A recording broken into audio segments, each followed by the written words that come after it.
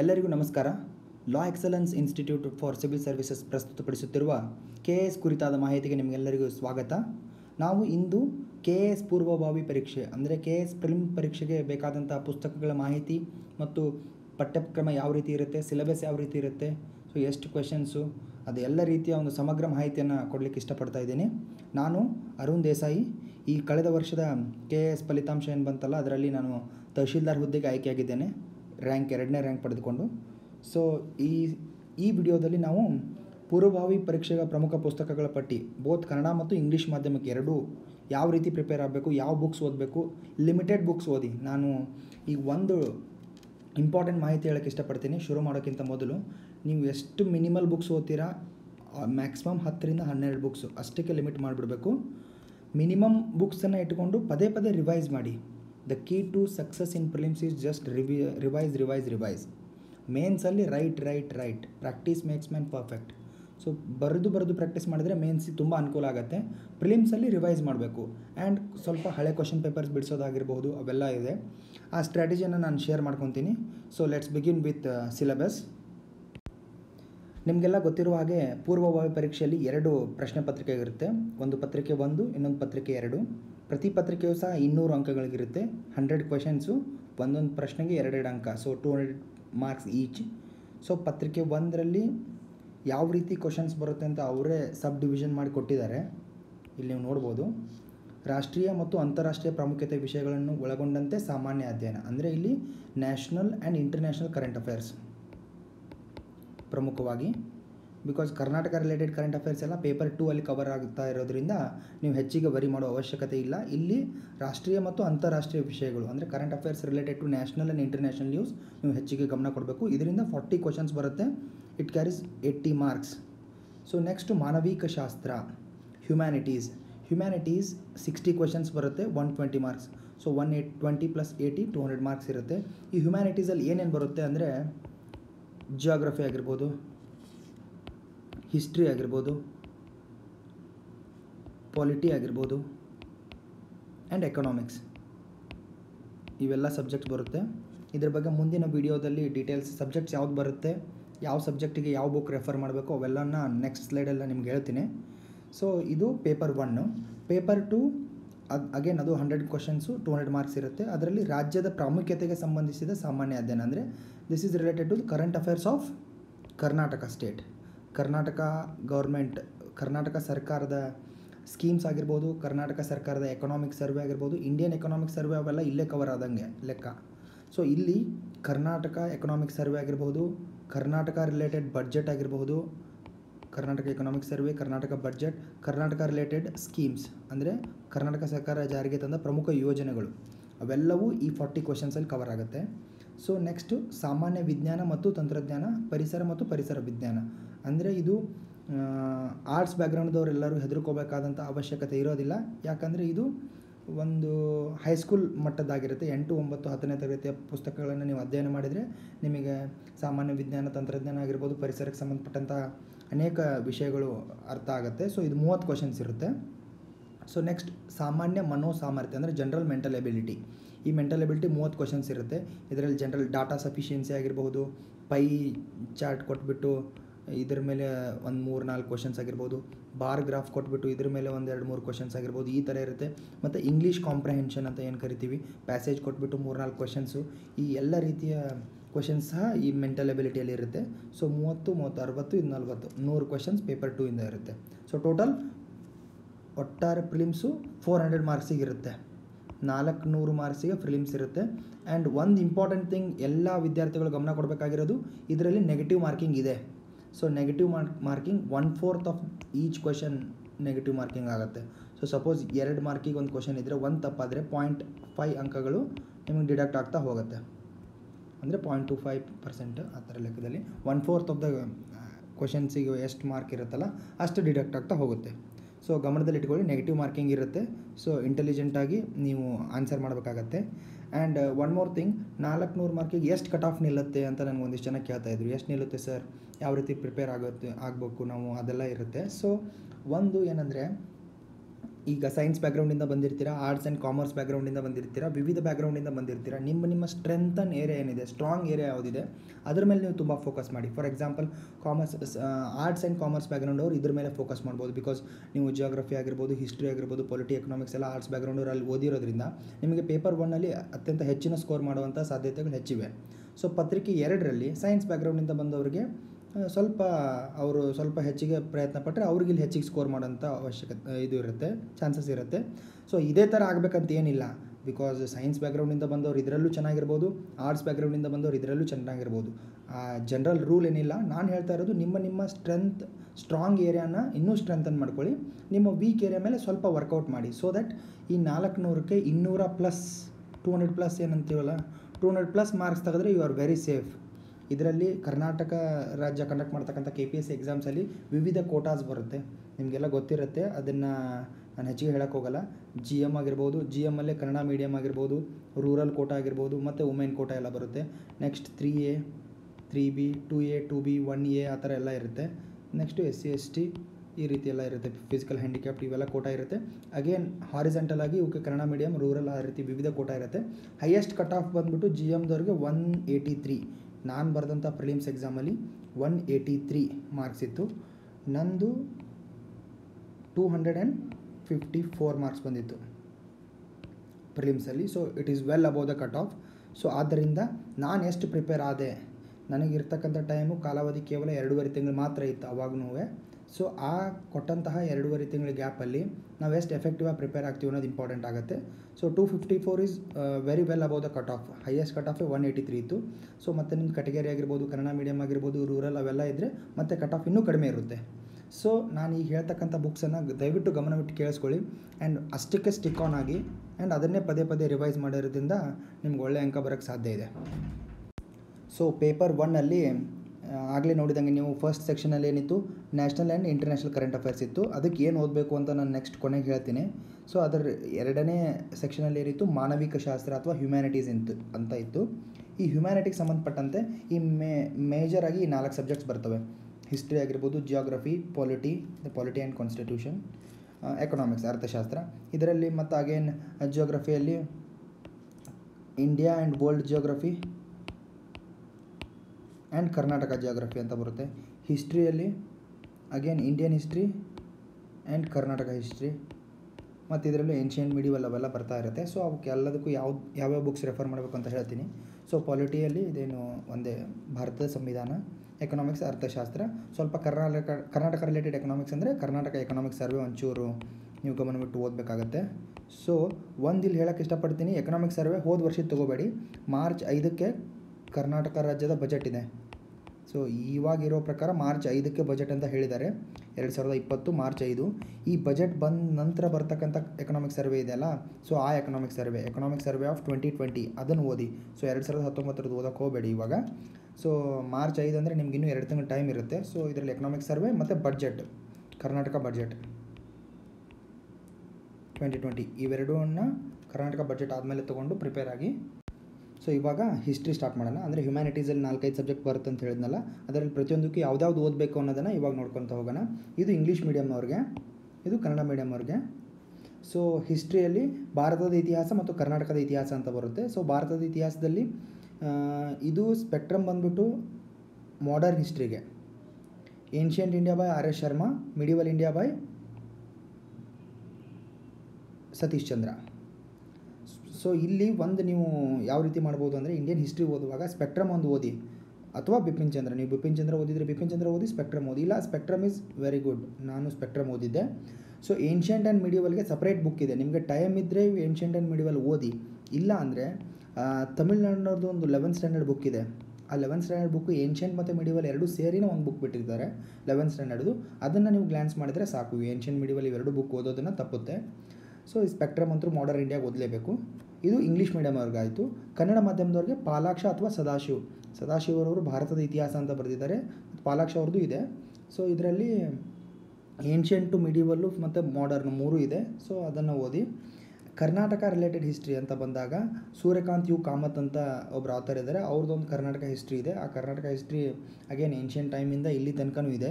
ಅದರಲ್ಲಿ ಪ್ರಮುಖವಾಗಿ ಕರ್ನಾಟಕ ಹಿಸ್ಟ್ರಿಯಲ್ಲಿ ನೀವು ಓದಬೇಕಾಗಿರೋದು ವಿಜಯನಗರ ಎಂಪೈರ್ ಆಗಿರ್ಬೋದು, ಬಾದಾಮಿ ಚಾಲುಕ್ಯರು ಹೊಯ್ಸಳರು ಅವರೆಲ್ಲರದು ಓದ್ತಾ ಬರ್ತಿರಲ್ವ? ಕೊನೆಗೆ ಬಂದು ಮೈಸೂರು ಅರಸರು ಬರುತ್ತೆ. ಅದರಲ್ಲಿ ದಿವಾನ್ರ ಬಗ್ಗೆ ಕ್ವಶನ್ಸ್ ಹೆಚ್ಚಿಗೆ ಬರೋ ಸಾಧ್ಯತೆ ಇರುತ್ತೆ. ವಿಜಯನಗರ ಎಂಪೈರ್ ಪ್ರಮುಖ ಒಂದು ಐದಾರು ಎಂಪೈರ್ಗಳಿದೆ ಬದಾಮಿ ಚಾಲುಕ್ಯರಾಗಿರ್ಬೋದು, ಹೊಯ್ಸಳರಾಗಿರ್ಬೋದು, ಗಂಗರು, ಕದಂಬರು ಮತ್ತು ವಿಜಯನಗರ ಸಾಮ್ರಾಜ್ಯ ಮತ್ತು ಮೈಸೂರು ಮನೆತನ. ಮೇಜರ್ ಕ, ರಾಜ್ಯವನ್ನು ಆಳಿದಂತಹ ಮನೆತನಗಳು ಇದರ ಬಗ್ಗೆ ಅದರಲ್ಲೂ ಹೆಚ್ಚಿದ್ದು ಆರ್ಟ್ ಆ್ಯಂಡ್ ಕಲ್ಚರ್ ರಿಲೇಟೆಡ್ ಓದಿ. ಅಂದರೆ ಅವರ ಅವರು ಆರ್ಕಿಟೆಕ್ಚರ್ ಕೊಟ್ಟಂಥ ಕೊಡುಗೆ ಆಗಿರ್ಬೋದು, ಅವ್ರ ಲಿಟ್ರೇಚರ್ ಕೊಟ್ಟಂಥ ಕೊಡುಗೆ ಆಗಿರ್ಬೋದು, ಅವರ ಡ್ರಾಯಿಂಗ್ ಚಿತ್ರಕಲೆ ಅಂತ ಏನು ಹೇಳ್ತೀವಿ ಅದಾಗಿರ್ಬೋದು ನೃತ್ಯ ಕಲೆ ಶಿಲ್ಪಕಲೆ, ಅದರ ರಿಲೇಟೆಡ್ ಹೆಚ್ಚಿಗೆ ಓದಿ. ಸೊ ಇತಿಹಾಸದಲ್ಲಿ ಹೆಚ್ಚಿನ ಕ್ವಶನ್ಸ್ಗಳು ಆರ್ಟ್ ಆ್ಯಂಡ್ ಕಲ್ಚರ್ ಬ್ಯಾಕ್ಗ್ರೌಂಡಿಂದ ಬರುತ್ತೆ. ಸೊ ಅದನ್ನು ಹೆಚ್ಚಿಗೆ ಓದಿ. ಅದಕ್ಕೋಸ್ಕರನೇ art and culture separate subject ಅಂತ ಕನ್ಸಿಡರ್ ಮಾಡಿಲ್ಲ ನಾನಿಲ್ಲಿ. ನೀವು ಇತಿಹಾಸ ಮಾಡರ್ನ್ ಇಂಡಿಯಾ ಅಂತೂ ಫ್ರೀಡಮ್ ಸ್ಟ್ರಗಲ್ಲು ಗಾಂಧಿಯನ್ ಫೇಸು ಮತ್ತು ಯಾವ ರೀತಿ ಸ್ವತಂತ್ರ ಬಂತು ಮಾಡ್ರೇಟ್ ಎಕ್ಸ್ಟ್ರೀಮಿಸ್ಟ್ ಆ ಫೇಸ್ ಎಲ್ಲ ಈ ಬುಕ್ಸಲ್ಲಿ ಕವರ್ ಆಗ್ತಿರುತ್ತೆ. ಬಟ್ ನೀವು ಏನ್ಷಿಯಂಟು ಮಿಡಿವಲ್ ಆಗಿರ್ಬೋದು ಮತ್ತು ಕರ್ನಾಟಕ ರಿಲೇಟೆಡ್ ಇವು ಮೂರು ಹಿಸ್ಟ್ರಿ ಓದುವಾಗ ನಿಮ್ದು ಹೆಚ್ಚಿನ ಗಮನ ಆರ್ಟ್ ಆ್ಯಂಡ್ ಕಲ್ಚರ್ ರಿಲೇಟೆಡೇ ಆಗಿರಬೇಕು. ಸೊ ಕನ್ನಡದಲ್ಲೂ ಸಹ ಪಾಲಾಕ್ಷ ಮತ್ತು ಸದಾಶಿವ ಅಂತ ಇದೆ. ಇಷ್ಟು ಓದಿ. ಕರ್ನಾಟಕ ಹಿಸ್ಟ್ರಿಯಲ್ಲಿ ಸೂರ್ಯನಾಥ್ ಕಾಮತ್ ಓದಿ ಅಥವಾ ಎನಿ ಅಕಾಡೆಮಿ ಮಟೀರಿಯಲ್ ಯಾವುದಾದ್ರೂ ಒಂದು ಕೋಚಿಂಗ್ ಮಟೀರಿಯಲ್ ಓದಿ ಬಿಕಾಸ್ ಸೂರ್ಯಕಾಂತ್ ಕಾಮತ್ ಸ್ವಲ್ಪ ಬುಕ್ ದೊಡ್ಡದು ಅನಿಸುತ್ತೆ. ಆ್ಯಂಡ್ ಅಷ್ಟು ಓದಕ್ಕೆ ನಿಮ್ಗೆ ಟೈಮ್ ಇದ್ದರೆ ಓದಿ it is well and fine but ಏನಾದರೂ ಇರಲಿಲ್ಲ ಅಂದರೆ ಎನಿ ಕೋಚಿಂಗ್ ಅಕಾಡೆಮಿ ಮಟೀರಿಯಲ್ ಯಾವುದಾದ್ರೂ ಒಂದು ಮಟೀರಿಯಲ್ಲು ಸಮರಿ ಮಾಡಿಬಿಟ್ಟಿರ್ತಾರೆ. ಸೊ ಅದನ್ನು ಓದಿ, ಅದರಲ್ಲೂ ಹೆಚ್ಚಿನದು ನಾನು ಇವಾಗಲೇ ಹೇಳಿದ್ನಲ್ಲ ಮೈಸೂರು ಮನೆತನ. ಮತ್ತು ದಿವಾನ್ಸು ವಿಶ್ವೇಶ್ವರಯ್ಯ ಆಗಿರ್ಬೋದು, ಸರ್ ಮಿರ್ಜಾ ಇಸ್ಮಾಯಿಲ್ ಆಗಿರ್ಬೋದು, ಆ ದಿವಾನ್ರ ಪೀರಿಯಡಲ್ಲಿ ಆಗ್ತಕ್ಕಂಥ ಅನೇಕ ಡೆವಲಪ್ಮೆಂಟ್ ಆ್ಯಕ್ಟಿವಿಟೀಸ್ ಬಗ್ಗೆ ಕ್ವಶನ್ಸ್ ಕೇಳ್ತಿರ್ತಾರೆ. ಮತ್ತು ಕರ್ನಾಟಕದ ಏನ್ಷಿಯಂಟ್ ಹಿಸ್ಟ್ರಿಯಲ್ಲಿ ಅಂದರೆ ರಾಜಮನೆತನಗಳಲ್ಲಿ ಆರ್ಟ್ ಆ್ಯಂಡ್ ಕಲ್ಚರ್ ಕೊಡುಗೆ. ಅದನ್ನು ಆ ಏರಿಯಾನ ಫೋಕಸ್ ಮಾಡಿ. ಇಷ್ಟು history related so moving on next geography ಜಿಯೋಗ್ರಫಿಯಲ್ಲಿ Indian geography and world geography ಇಲ್ಲೇ ಬರುತ್ತೆ. Next Karnataka geography Indian and world ಜಿಯೋಗ್ರಫಿಗೆ English medium ಅವರು eleventh and twelfth N C I T ಓದ್ಬಿಡಿ. ಲೆವೆಂತದ್ದು ಎರಡು ಬುಕ್ಸ್ ಬರುತ್ತೆ ಫಿ ಇಂಡಿಯನ್ ಫಿಸಿಕಲ್ ಜಿಯೋಗ್ರಫಿ ಮತ್ತು ಟ್ವೆಲ್ತಲ್ಲೂ ಎರಡು book ಬರುತ್ತೆ. So ಇವೆರಡೆರಡು ನಾಲ್ಕು book N C I T ಇವೆ. ಇಷ್ಟು ಸಾಕು. ಇದಕ್ಕಿಂತ ಹೆಚ್ಚಿನ ಅವಶ್ಯಕತೆ ಇಲ್ಲ ಇಂಗ್ಲೀಷ್ ಮೀಡಿಯಮ್ ಅವ್ರಿಗೆ. ನೀವು ಜಿ ಸಿ ಲಿಯಾಂಗು ಅವೆಲ್ಲನೂ ನಿಮಗೆ ಸಮ್ ಟೈಮ್ ಇದ್ದರೆ ಓದಿ ಬಟ್ ಅಷ್ಟು ಅವಶ್ಯಕತೆ ಇಲ್ಲ I feel eleventh and twelfth N C R T ಸಾಲ ಸಾಕಿಲ್ಲಿ. ಇಂಡಿಯಾ ಮತ್ತು ವರ್ಲ್ಡ್ ಜಿಯೋಗ್ರಫಿ ಎರಡೂ ಕವರ್ ಆಗುತ್ತೆ.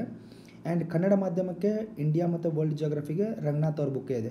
ಈ ರಂಗನಾಥ್ ಅವ್ರ ಬುಕ್ ಇದೆಯಲ್ಲ, ಇದು ಕರ್ನಾಟಕ ಜಿಯೋಗ್ರಫಿ ಕುರಿತು ಬರೆದಿದ್ದಾರೆ, ಭಾರತೀಯ ಭೂಗೋಳ, ವಿಶ್ವ ಭೂಗೋಳ ಎಲ್ಲ ಬರೆದಿದ್ದಾರೆ. ಸೊ ಇವ್ರ ಬುಕ್ ಒಂದು ರೆಫರ್ ಮಾಡಿದರೆ ಕನ್ನಡ ಮಾಧ್ಯಮದವ್ರಿಗೂ ಸಾಕು ಅನಿಸುತ್ತೆ. ಸೊ ಕರ್ನಾಟಕ ಜಿಯೋಗ್ರಫಿಗೂ ಅಷ್ಟೇ. ಇಂಗ್ಲೀಷ್ ಮೀಡಿಯಮಲ್ಲೂ ರಂಗನಾಥ್ ಅವ್ರ ಬುಕ್ ಇದೆ. ಕನ್ನಡ ಮಾಧ್ಯಮದಲ್ಲೂ ಸಹ ಕರ್ನಾಟಕ ಜಿಯೋಗ್ರಫಿ ಅಂತ ಹೇಳ್ಬಿಟ್ಟು ರಂಗನಾಥ್ ಅವ್ರ ಬುಕ್ಕೇ ಇದೆ. ಸೊ ಇದನ್ನು ರೆಫರ್ ಮಾಡಿ. ಜಿಯೋಗ್ರಫಿಗೆ ಇಷ್ಟು ಸಾಕು. ಒಂದು ಏನು ನೆನ್ಪಿಟ್ಕೋಬೇಕಂದ್ರೆ ಬುಕ್ಸ್ ಓದ್ತಿರ್ತೀರಲ್ವ? ಸೊ ಪದೇ ಪದೇ ಬುಕ್ಸ್ ಓದೋಕ್ಕಾಗಲ್ಲ. ಸೊ ಒನ್ ಫಸ್ಟ್ ಟೈಮ್ ಓದುವಾಗ ನೀಟಾಗಿ ಓದ್ಬಿಟ್ಟು ಅದನ್ನು ನೋಟ್ಸ್ ರೆಡಿ ಮಾಡಿ ಇಟ್ಕೊಂಬಿಡಿ ಸೊ ಅದು ಭಾಳ ಹೆಲ್ಪ್ ಆಗುತ್ತೆ. ಫಾರ್ ಎಕ್ಸಾಂಪಲ್ ನಾನು ರಂಗನಾಥ್ ಬುಕ್ ಓದ್ಬಿಟ್ಟು ಒಂದು ಇಪ್ಪತ್ತೈದರಿಂದ ಮೂವತ್ತು ಶೀಟು ನೋಟ್ಸ್ ಮಾಡಿ ಇಟ್ಕೊಂಡ್ಬಿಟ್ಟಿದ್ದೆ. ಸೊ ಕೊನೆಗೆ ನಾನು ಬುಕ್ ಓದ್ತಿರಲಿಲ್ಲ. ರಿವಿಷನ್ ಟೈಮಲ್ಲೆಲ್ಲ ಬರೀ ನೋಟ್ಸ್ ಓದ್ತಿದ್ದೆ. ಸೊ ಆ ಥರ ಮಾಡ್ಕೊಳ್ಳೋದ್ರಿಂದ ನೀವು ಪದೇ ಪದೇ ಬುಕ್ಸ್ ಓದೋದು ತಪ್ಪುತ್ತೆ. So next moving on to next topic polity and constitution this is one of my favourite subject ಈ ಪೊಲಿಟಿಯನ್ ಕಾನ್ಸ್ಟಿಟ್ಯೂಷನ್ ಒಂದು ಬೆಸ್ಟ್ ಪಾರ್ಟ್ ಏನು ಗೊತ್ತಾ? ಕನ್ನಡದಲ್ಲಿ ಆಗಿರ್ಬೋದು, ಇಂಗ್ಲೀಷಲ್ಲಿ ಆಗಿರ್ಬೋದು Bible for polity or constitution is Lakshmikant book English ಅವರಿಗೆ ಇಂಗ್ಲೀಷ್ ಮೀಡಿಯಮ್ ಅವರಿಗೆ Lakshmikant is the Bible fifth edition ಬಿಟ್ಟಿದ್ದಾರೆ ಇವಾಗ. ಫೋರ್ತ್ ಎಡಿಷನ್ ಇದ್ದವ್ರು ಫೋರ್ತ್ ಎಡಿಷನ್ ಓದ್ಕೋಬೋದು. ಸೊ ಅತ್ತೆ, ಅಷ್ಟೇನು ಹೆಚ್ಚಿನ ಬದಲಾವಣೆಗಳಿಲ್ಲ. ಸೊ ಕನ್ನಡ ಮಾಧ್ಯಮದಲ್ಲಿ ಗಂಗಾಧರ್, ಇದು ಆಲ್ಮೋಸ್ಟ್ ಇದ್ರ ಟ್ರಾನ್ಸ್ಲೇಷನ್ ಥರ ಅಂತಾರೆ. ಸೊ ಗಂಗಾಧರ್ ಓದಿ, ಅಥವಾ ಇನ್ನೊಂದು ಸ್ವಲ್ಪ ಹೆಚ್ಚಿನ ಮಾಹಿತಿ ಬೇಕಾಗಿದ್ದರೆ ಮೇರುನಂದನ್ ಕೂಡ ರೆಫರ್ ಮಾಡ್ಬೋದು ನೀವು. ಸೊ ಇದಕ್ಕೆ ಒಂದಕ್ಕೆ ಮಾತ್ರ ಸಿಂಗಲ್ ಸೋರ್ಸ್ ಇರೋದು ಆ್ಯಂಡ್ ನೀವು ಪ್ರೊ ಪರ್ಫೆಕ್ಟ್ ಆಗಿರಬೇಕು. ಇದ್ರ ಮೇಲೆ ಹತ್ತರಿಂದ ಹನ್ನೆರಡು ಕ್ವಶನ್ ಬರುತ್ತೆ. ನಾನು ಮುಂಚೆ ಹೇಳಿದ್ನಲ್ಲ ಹ್ಯುಮ್ಯಾನಿಟೀಸ್ ಅಂತ. ಹ್ಯುಮ್ಯಾನಿಟೀಸಿಂದ ಸಿಕ್ಸ್ಟಿ ಕ್ವಶನ್ಸ್ ಬರುತ್ತೆ. ಕರೆಂಟ್ ಅಫೇರ್ಸಿಂದ ಫಾರ್ಟಿ ಅಂತ ಇತ್ತು ಪೇಪರ್ ಒನ್ನಲ್ಲಿ ಸೊ ಟೋಟಲ್ ಹಂಡ್ರೆಡ್ ಆಯಿತು. ಸೊ ಈ ಸಿಕ್ಸ್ಟಿಯಲ್ಲಿ ಎಲ್ಲನೂ ಫಿಫ್ಟೀನ್ ಫಿಫ್ಟೀನ್ ಬರುತ್ತೆ. ಹಿಸ್ಟ್ರಿಯಿಂದ ಫಿಫ್ಟೀನ್ ಕ್ವಶನ್ಸು ಜಿಯೋಗ್ರಫಿಯಿಂದ ಹದಿನೈದು ಕ್ವಶನ್ಸು ಪೊಲಿಟಿ ಆ್ಯಂಡ್ ಕಾನ್ಸ್ಟಿಟ್ಯೂಷನಿಂದ ಹದಿನೈದು ಎಕನಾಮಿಕ್ಸಿಂದ ಹದಿನೈದು. ಮತ್ತು ಇದರಲ್ಲಿ ಇಂಡಿಯನ್ ಹಿಸ್ಟ್ರಿ ಅವೆಲ್ಲ ಬೇರೆ ಬೇರೆ ಎಲ್ಲವನ್ನು ಸೇರಿ ಹದಿನೈದು ಅಂತ ಹೇಳ್ತಾ ಇರೋದು. ಎಕ್ಸಾಕ್ಟ್ ಹದಿನೈದು ಹದಿನೈದು ಬರಬೇಕಂತಿಲ್ಲ. ಇಲ್ಲಿ ಒಂದೆರಡು ಪ್ಲಸ್ ಆರ್ ಮೈನಸ್ ಟು ಆಗ್ಬೋದು, ಆ ಥರ ಪ್ಲಸ್ ಆರ್ ಮೈನಸ್ ಟು ಆಗುತ್ತೆ. ಸೊ ಓವರಾಲ್ ಲಾರ್ಜರ್ ಪಿಕ್ಚರ್ ಈ ಥರ ಪ್ಯಾಟರ್ನ್ ಬರುತ್ತೆ. ಸೊ ಈ ಥರಕ್ಕೆ ನೀವು ಪ್ರಿಪೇರ್ ಆಗಿರಿ. Okay next moving on to economics section ಎಕನಾಮಿಕ್ಸಲ್ಲಿ ಇದು ಸ್ವಲ್ಪ ನಿಮಗೆ ಟ್ರಿಕ್ಕಿ ಅನ್ನಿಸ್ಬೋದು. ಏನಕ್ಕಂದರೆ ಎಕನಾಮಿಕಲ್ಲಿ ಎರಡು ಎನ್ ಸಿ ಆರ್ ಟಿ ಇದೆ. Eleventh standard N C R T Indian economic development ಅಂತಿದೆ.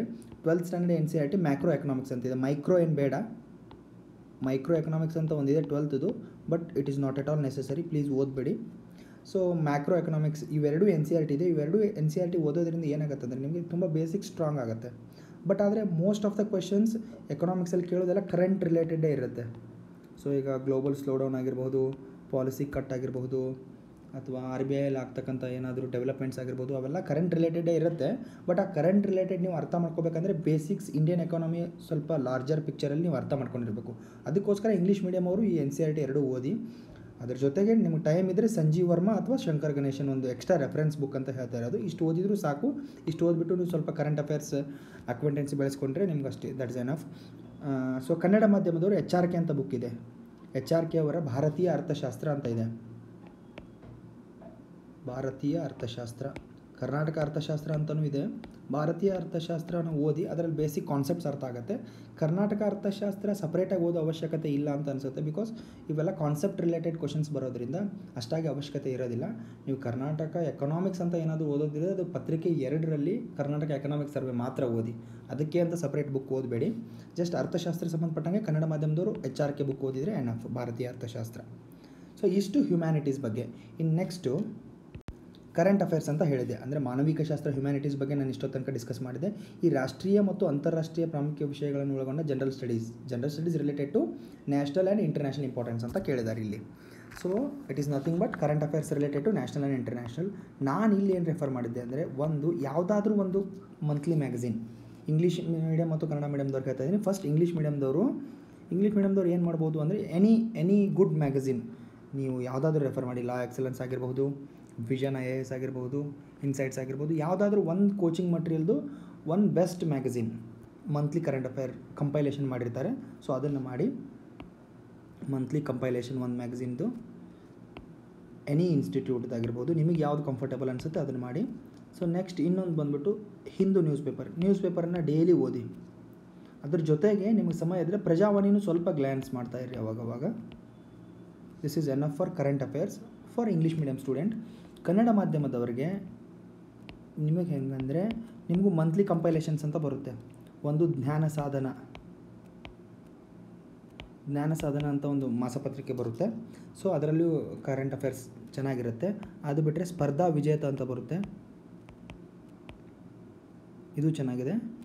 ಸೊ ಜ್ಞಾನ ಸಾಧನ ಅಥವಾ ಸ್ಪರ್ಧಾ ವಿಜೇತ ಇವೆರಡರಲ್ಲಿ ಒಂದು ನೀವು ಮಂತ್ಲಿ ಕಂಪೈಲೇಷನ್ ಆಗಿ ರೆಫರ್ ಮಾಡ್ಬೋದು. ಇವೆರಡರಲ್ಲಿ ಒಂದು ಮಾಡಿ, ಎರಡೂ ಮಾಡೋಕ್ಕೆ ಹೋಗಬೇಡಿ, ಯಾವುದಾದ್ರೂ ಒಂದು ಮಾಡಿ. ಅದ್ರ ಜೊತೆ ಜೊತೆಗೆ ನೀವು ಪ್ರಜಾವಾಣಿ ಪತ್ರಿಕೆ ನೀವು ಕಂಪಲ್ಸರಿ ಓದಲೇಬೇಕು. ಕನ್ನಡ ಮಾಧ್ಯಮದವ್ರಿಗೂ ಇದು ಮಸ್ಟ್ ಇದು ಬಿಕಾಸ್ ನೀವು ಹಿಂದೂ ನ್ಯೂಸ್ ಪೇಪರ್ ಓದ್ತಿಲ್ಲ ಅಂದರೆ Prajavani ಓದಲೇಬೇಕು. There is no substitute for newspaper be it English medium or Kannada medium newspaper ಓದ್ತಾ ಇರಿ. ನೀವು ನೋಟ್ಸ್ ಮಾಡದೇ ಇದ್ರೂ ಪರವಾಗಿಲ್ಲ ಎವ್ರಿ ಡೇ ನ್ಯೂಸ್ ಪೇಪರ್ ಓದಿ. ಮತ್ತು ಕನ್ನಡ ಮಾಧ್ಯಮದವ್ರಿಗೆ ಇನ್ನೊಂದು ನನ್ನ ಸ್ನೇಹಿತರು ಇತ್ತೀಚೆಗೆ ಹೇಳ್ತಾ ಇದ್ರು, Aravind India Aravind book house ಅಂತ ಇದೆ, ಬೆಂಗಳೂರಲ್ಲಿ ಇದೆ. ಸೊ ಮೋಸ್ಟ್ಲಿ ಧಾರವಾಡಲ್ಲೂ ಇರಬಹುದು. ಅರವಿಂದ್ ಇಂಡಿಯಾ ಅವರು ಕನ್ನಡ ಮಾಧ್ಯಮದವರಿಗೆ ಪ್ರಚಲಿತ ವಿದ್ಯಮಾನಗಳ ಅವಲೋಕನ ಅಂತ ಹೇಳ್ಬಿಟ್ಟು ಒಂದು ಮಂತ್ಲಿ ಕಂಪೈಲೇಷನ್ ತರ್ತಿದ್ದಾರಂತೆ ಪ್ರಚಲಿತ ವಿದ್ಯಮಾನಗಳ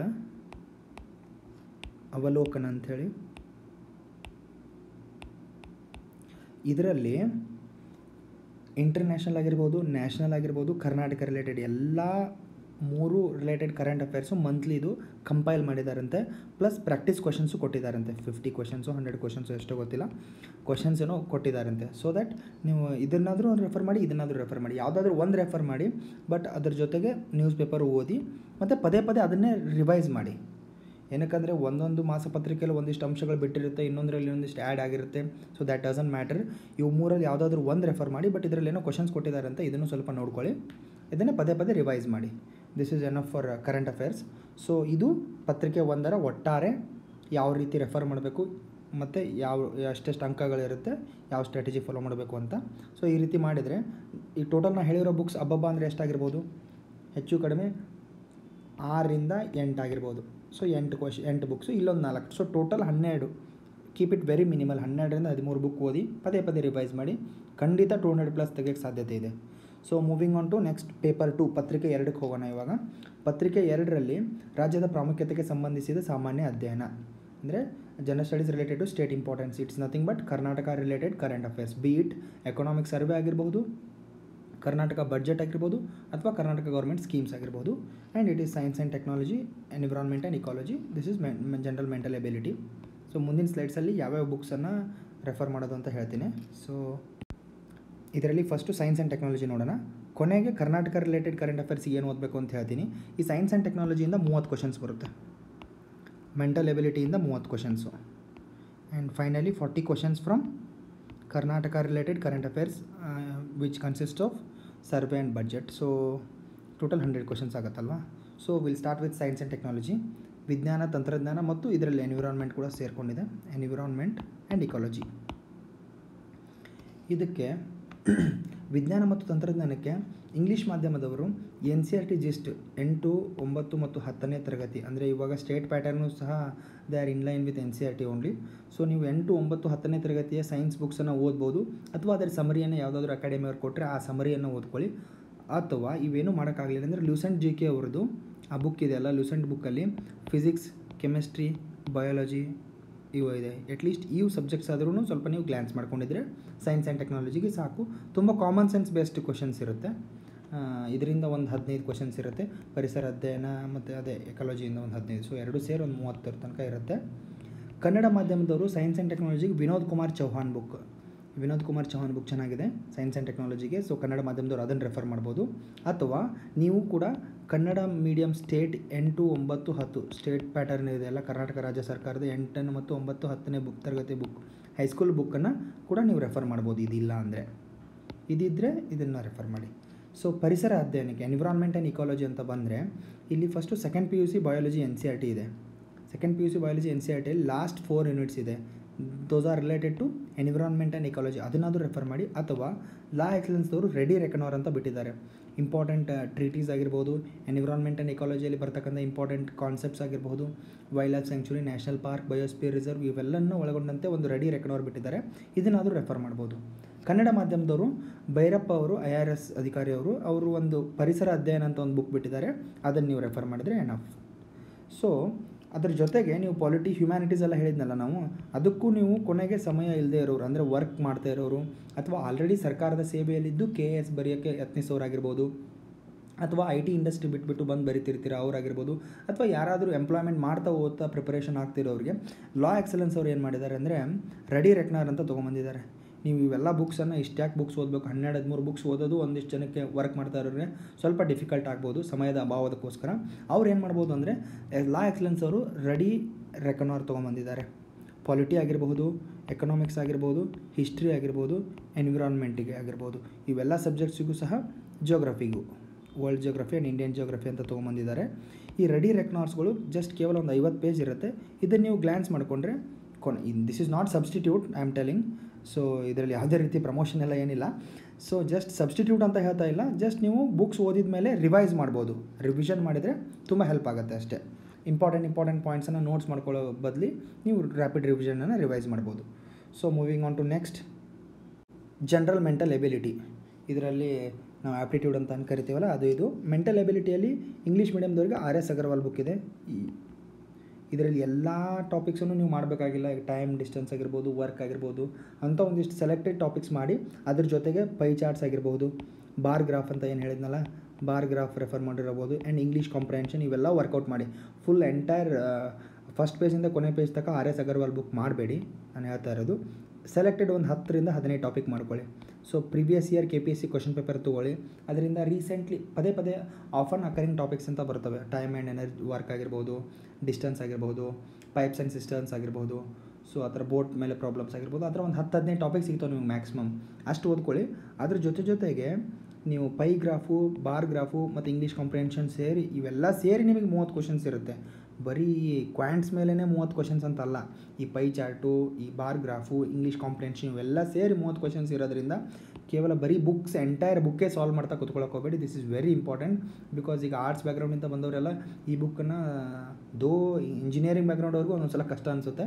So full top to bottom ಈ ಬುಕ್ ಬಿಡ್ಸೋಕ್ಕೆ ಹೋಗಬೇಡಿ. Only selected books for that to for quants ಬಿಡಿಸಿ. ಅದ್ರ ಜೊತೆಗೆ ಈ pie chart bar graph English ಕಾಂಪ್ರಿಹೆನ್ಷನ್ಗೆ ಸ್ವಲ್ಪ ಒತ್ತು ಕೊಟ್ಟರೆ ನೀವು ಮೂವತ್ತು ಕ್ವಶನ್ಸ್ಗೆ twenty five plus questions correct ಮಾಡತಕ್ಕಂಥ ಚಾನ್ಸಸ್ ಜಾಸ್ತಿ ಇಲ್ಲಿರುತ್ತೆ. ಸೊ ಕನ್ನಡ ಮಾಧ್ಯಮದವರು ಮಂಜುನಾಥ್ ಬಾಡ್ಗಿ ಸರ್ ಇವರು ಒಂದು ಬುಕ್ ತೊಗೊಂಬಂದಿದ್ದಾರೆ. ಸಾಮಾನ್ಯ ಮನೋಸಾಮರ್ಥ್ಯದ ಕುರಿತು. ಸೇಮ್ ಇದು ಆರ್ ಎಸ್ ಅಗರ್ವಾಲ್ ಥರನೇ ಸೊ ಮಂಜುನಾಥ್ ಬಾಡಿ ಕನ್ನಡ ಮಾಧ್ಯಮದವ್ರಿಗೆ ಇದು ಹೆಲ್ಪ್ ಆಗುತ್ತೆ. ಅಥವಾ ನೀವು ಏನೇ ಕೋಚಿಂಗ್ ಮಟೀರಿಯಲ್ದವ್ರು ಏನಾದರೂ ಕನ್ನಡ ಮಾಧ್ಯಮದವರಿಗೆ ಅಂತ ಏನಾದರೂ ಮನೋಸಾಮರ್ಥ್ಯದ ಮಟೀರಿಯಲ್ಸ್ ಇದ್ದರೆ ಅದನ್ನು ರೆಫರ್ ಮಾಡಿ. ನೀವು ಅಷ್ಟೇ ನೀವು ಕ್ವಾಂಟ್ಸ್ ಬಗ್ಗೆ ಜಾಸ್ತಿ ಹೆದರಿಕೆ ಇದ್ದವರೆಲ್ಲ ಜಾಸ್ತಿ ತಲೆ ಕೆಡ್ಸ್ಕೊಳಕ್ಕೆ ಇಂಪಾರ್ಟೆಂಟ್ ಕಾನ್ಸೆಪ್ಟ್ಸ್ ಒಂದು ಹತ್ತು ಹನ್ನೆರಡು ಕಾನ್ಸೆಪ್ಟ್ಸ್ ಪರ್ಫೆಕ್ಟ್ ಮಾಡಿಕೊಂಡು ನೀವು ಅಗೇನ್ ಇಂಗ್ಲೀಷ್ ಕಾಂಪ್ರೆನ್ಷನ್ ಅದರ ಮೇಲೆ ವರ್ಕ್ ಆನ್ ಮಾಡಿ. So this is mental ability ಇದು ಮೂವತ್ತು question science and technology environment ecology ಸೇರಿ ಮೂವತ್ತು ಕ್ವಶನ್ಸ್ ಆಯಿತು. ಈ ಮೆಂಟಲ್ ಎಬಿಲಿಟಿ ಮೂವತ್ತು ಕ್ವಶನ್ಸ್ ಸೊ ಸಿಕ್ಸ್ಟಿ ಕ್ವಶನ್ಸ್ ಆಯಿತು. ಇನ್ನು ಮಿಕ್ಕಿದಂತಹ ಫಾರ್ಟಿ ಕ್ವಶನ್ಸ್ ಇದೆಯಲ್ಲ ಪೇಪರ್ ಟೂ ಅಲ್ಲಿ, ಅದು Karnataka current affairs general studies related to Karnataka ಅಂದರೂ ಒಂದೇ, ಕರ್ನಾಟಕ ರಿಲೇಟೆಡ್ ಕರೆಂಟ್ ಅಫೇರ್ಸ್ ಅಂದರೂ ಒಂದೇ.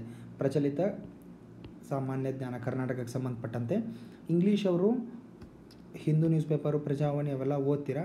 ಅದ್ರ ಜೊತೆ ಜೊತೆಗೆ ಎನಿ ಅಕಾಡೆಮಿ ಮಟೀರಿಯಲ್ ಒಂದಿಷ್ಟು ಅಕಾಡೆಮೀಸ್ ಬರ್ತವೆ. ರಾವ್ಸ್ ಅಕಾಡೆಮಿ ಆಗಿರಬಹುದು, ಇವ್ರು ಲಾ ಎಕ್ಸಲೆನ್ಸ್ ಆಗಿರ್ಬೋದು ಅಥವಾ ರಾಜ್ಕುಮಾರ್ ಅಕಾಡೆಮಿ ಅವರು, ಇವರೆಲ್ಲ ಅಕಾಡೆಮೀಸ್ ಏನು ಮಾಡ್ತಾರೆ? ಕೊನೆಗೆ ಸಮರಿ ಶೀಟ್ ಅಂತ ಬಿಡ್ತಾರೆ. ಕರ್ನಾಟಕ ರಾಜ್ಯದಲ್ಲಿ ಒಂದು ವರ್ಷದಲ್ಲಿ ಯಾವ ರೀತಿ ಕರೆಂಟ್ ಅಫೇರ್ಸ್ ಆಗಿದೆ ಅಂತ ಒಂದು fifty page sixty page compilation ಮಾಡಿಬಿಟ್ಟಿರ್ತಾರೆ. Only current affairs related to Karnataka.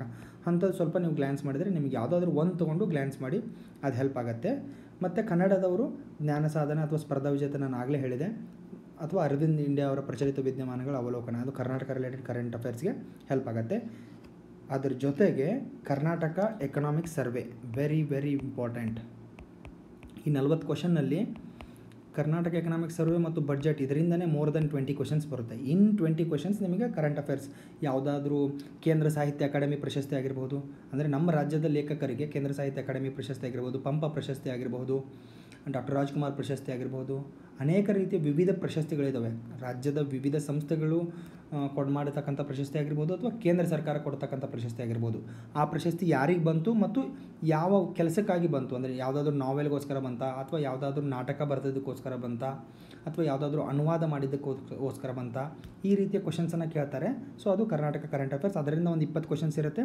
Karnataka economic survey Karnataka budget and Karnataka schemes ಅಂದರೆ ಕರ್ನಾಟಕ ಸರ್ಕಾರ ತೆಗೆದುಕೊಂಡು ಬಂದಂಥ ಸ್ಕೀಮ್ಸ್, ಅನ್ನಭಾಗ್ಯ ಆಗಿರ್ಬೋದು ವಿದ್ಯಾಸಿರಿ ಆಗಿರ್ಬೋದು, ಮನಸ್ವಿನಿ ಈ ಥರ ವಿವಿಧ ಸ್ಕೀಮ್ಸ್ ಇರುತ್ತೆ.